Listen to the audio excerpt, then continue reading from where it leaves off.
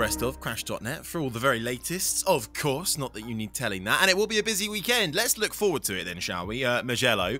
Um, and it's going to be quite a monumental weekend, actually. Uh, and Valentino Rossi uh, back, well, in number form. The number 46, Keith, uh, is set to be retired this weekend officially. Yeah, he'll be there. It will be the um, just before qualifying on Saturday. So anybody that wants to tune in and um, you know have a look at Valentino at Mugello, which who doesn't? I mean, it's the scene of so many fantastic Valentino. Yeah, what did he win? Something like seven consecutive MotoGP races, I think it was that he won. I, I was trying to think when it was eight, but I think it was seven that he won uh, across from Honda. He won a couple on Honda and the rest on Yamahas. Mugello even though Misano really is his home track because he's only down the road at Tavullia, um, Mugello is the Italian Grand Prix. It has the title of Italian Grand Prix. And that whole bank, you know, going up the hill from San Donato and then those flip flops up up to Luco and the like, um, covered in yellow.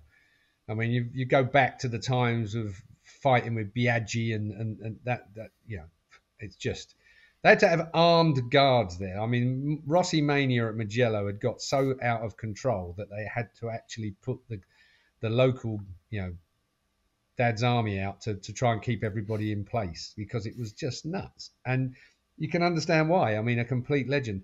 Something like, did he do something like 27 years? I think it was. He had his first international win at Mugello um, back in the 125 days you know, like the history of Valentino and Mugello are, are just, you know, entwined together. It's what a bloke.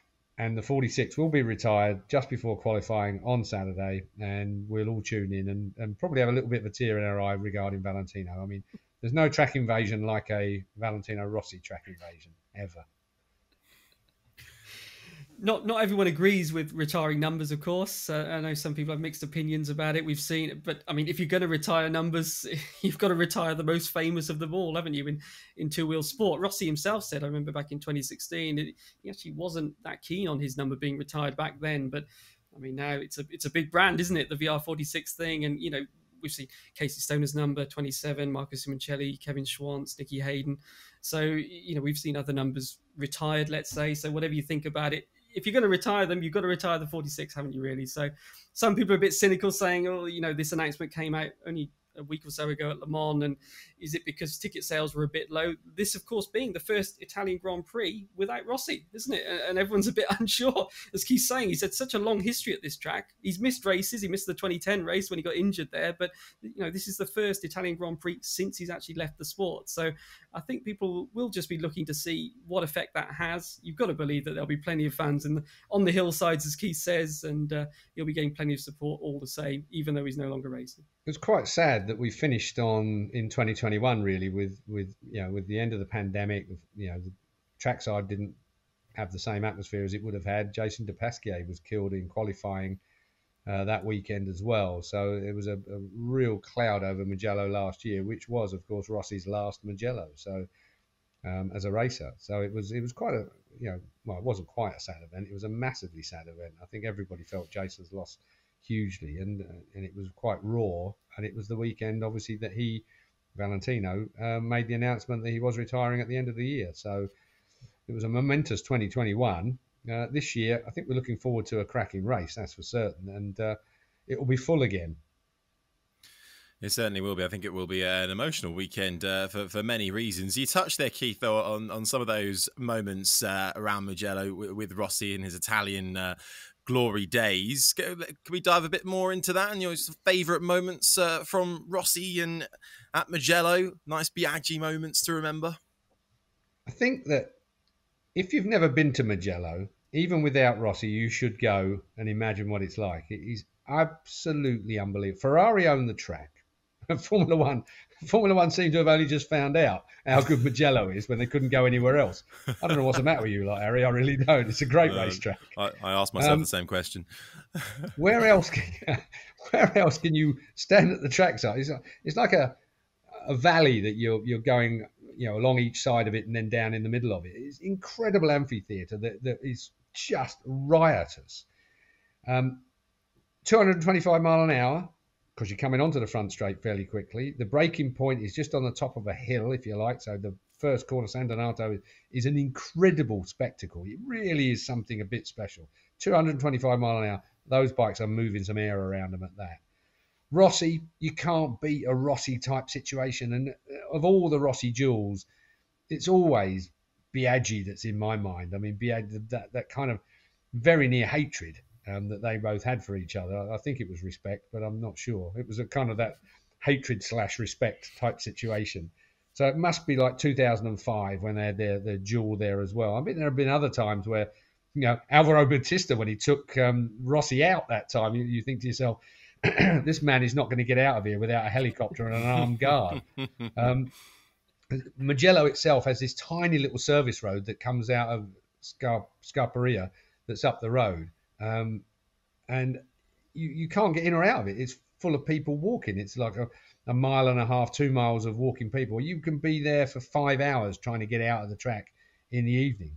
Um, doesn't matter how smart you are or how many. Um, we've all got routes through fields and dirt tracks and everything worked out.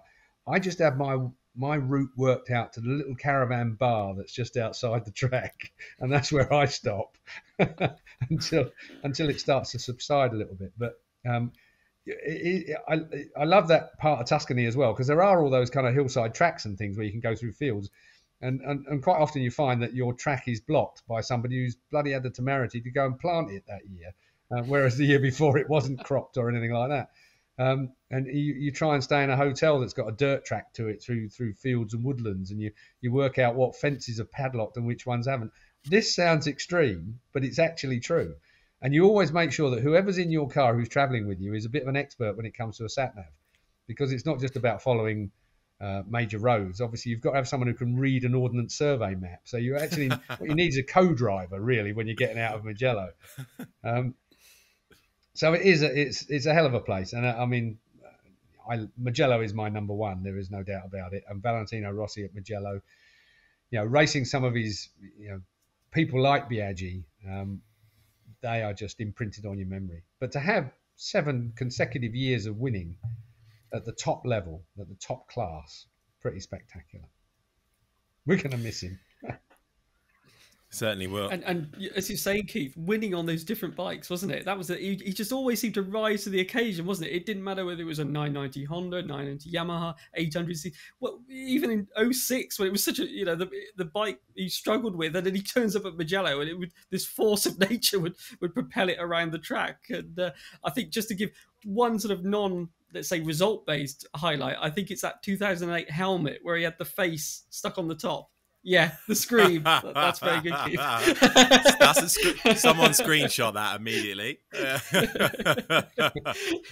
I think the, the, I, I, am not going to pull the face that he had when he rode the Ducati there because that, that was no fairy tale. That didn't work. But that's completely the other way.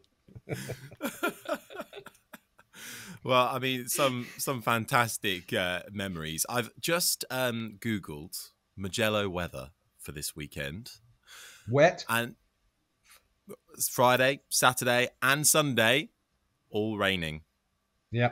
It happens at Mugello sometimes. It does, and uh, and many a race. I mean, I think Valentino has been in a situation where he's he's kind of crashed a few times when he's been in contention for podiums. It is a difficult place when it goes that way as well. I mean, it's um, it gets used a lot too. So uh, car guys, you know, it is a Ferrari test track, as I said earlier. Um, so you know, might have had a bit more Formula One interest since you guys have had Formula One there a, a, a few times now. Discovered what a great place it is. I'll tell you what, Mugello in a Formula One car must just about be flat, apart from the start and probably turn one. I would think because it is it's so fast and flowing that with all that aero and all that rubber stuck to the floor, I should think Formula One guys must get around there about ten seconds, fifteen seconds quicker than we can. It was a brilliant. I mean, it was a COVID. It came as a COVID uh, security track, didn't it? But it, it, was brilliant racing. One of the best races, actually. It's a shame it's not not on the calendar um, uh, at the moment. And then you found Portimao as well. You, you yeah. Bloody, you, as long as you don't start destroying our tracks with your downforce and bloody braking points, we don't mind. well, uh, we just had the Spanish Grand Prix, and you guys, the whole that turn uh, ten now has all been reprofiled for the bloody bikes. So uh, it's yeah. nice, well, nice let me tell you something now. about that then. The turn 10 was reprofiled because you bloody stuck a, a, a, a chicane in between 12 and 13. You stuck at 12 and 13. You know, why would you do that? I mean, you stuck that chicane in there, and because the chicane was so close to 10, we couldn't move the barrier back at 10 because they met in the middle. Yeah. Now, if there was no chicane there, if there was no Formula One chicane there, then 10 could have been made safe. And the original turn 10 at Catalonia was absolutely brilliant. So don't you give me any of that about you bloody car blokes. All you're interested in is bottom gear corners because that's the only thing you need is a DRS. You make a fair point, and I do. I think I agree. That chicane. I don't know why. I don't know why it's there for. uh, It doesn't provide anything for for overtaking in in in Formula One at least. But anyway, that's for uh, another time. I think. I think we should do our predictions for this weekend, um, and uh, and try and well get them correct. It's Keith leading the way at the moment. We've all got points, thankfully though. Uh, last year, uh, Quartararo on pole took the win ahead of Oliveira, Joan Mir. What are you feeling, Keith, this year around, this time around? Well, I don't think it's going to be anything like that. I've got Bagnaia for a win. Um, All straight in, okay. yeah, I think Bagnaia for me. Bagnaia on a Ducati at Mugello. Just, I think he's going to rise, rise his raise his game for that one. Yeah, but the rest is really, really, really tricky. Bagnaia, I'm going to go for a Ducati one-two. Miller, Okay. Quartararo third. Okay. Bagnaia, Miller, Quartararo. Pete, what you got? I'm going to go Ducati 1 2 as well. Oh, but I'm going to go for another blue bike versus red bike, and uh, I, I'm going to go Bastianini. And first, I've got to say, when will someone sponsor that bike? You know, Yeah. this team is, is still without a title sponsor. And I, I mean, I've said, no, I've said to you guys off air, but if I was Ducati, I would step in and I'd have that bike red.